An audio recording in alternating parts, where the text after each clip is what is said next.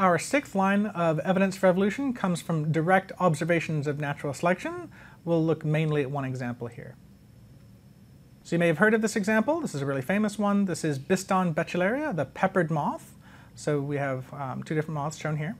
So historically, these moths were almost all white with a little bit of black dotting. And they lived in England, and if you know anything about the English, they're crazy about birds and moths, so people have been paying attention to these moths for a long time and collecting them, and um, they're very knowledgeable.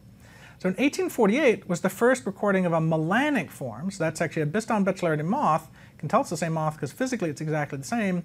It's just completely black.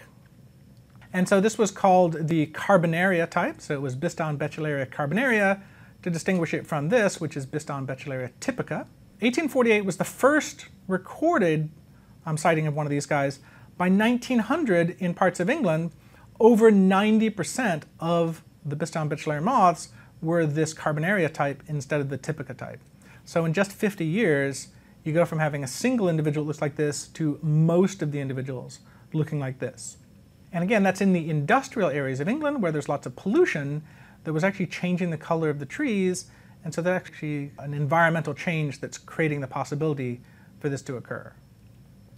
So there's a guy back then called Kettlewell who decided to perform some experiments to see if in fact it was this color change of the trees that were um, causing this to occur.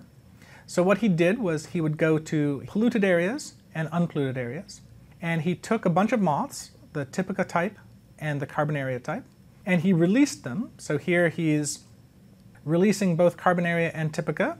The black bars are showing the basically the ratios of the ones that he released. So he releases more Carbonaria than Typica in the polluted area.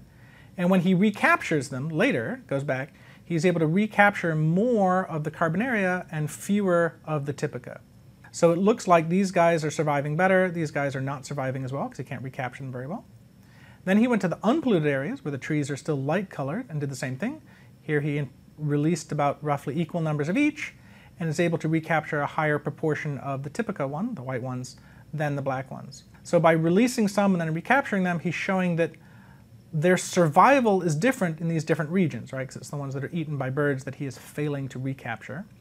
So he demonstrated higher survival for the light morph in the unpolluted area, higher survival for the dark morph in the polluted areas. So it's not like just the pollution was turning them all black, it was there seemed to be differences in their survival abilities in these different regions that was causing them to evolve over time to become black in those areas where that was advantageous.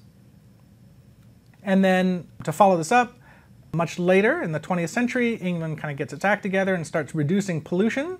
So here is a plot here of pollution levels coming down as measured by sulfur dioxide. And this is a plot showing that the frequency of carbonaria is coming down, right? So most moths were these black moths. When the pollution started coming down and the trees are now cleaner, now you can see a decline in the percentage of these moths that were this black moth.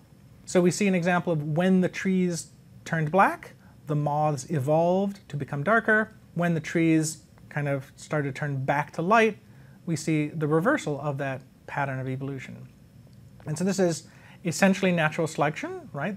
Although humans have caused the change in the environment, we weren't deliberately picking which moths lived, which moths died. That was a natural selection occurring on these moths. Now, this is a famous example, so in fact, identifying the exact basis of the genetic difference between these two morphs is actually a work in progress. This is a fairly recent paper. This is from 2011. This is trying to find what location in the genome is responsible for this color difference and it looks like it's a fairly simple sort of genetic difference. So one of the things about evolution and about science in general is we have a number of things we've learned, but now we continue and we try to fill in the details, right? So this peppered moth example has been known for a long time, but we're still working on the details, and this is part of what makes science so interesting, is that there's still lots to do.